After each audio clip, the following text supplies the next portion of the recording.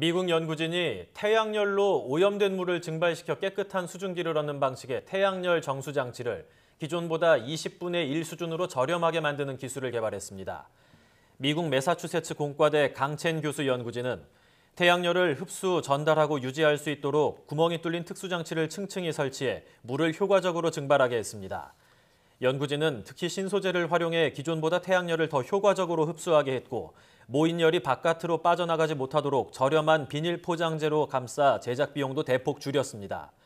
연구진은 이번에 개발한 정수장치는 특별한 동력 장치가 필요 없고 제작 비용도 저렴한 만큼 정수장치가 필요한 저개발 국가에 도움이 될 수 있을 것이라고 설명했습니다.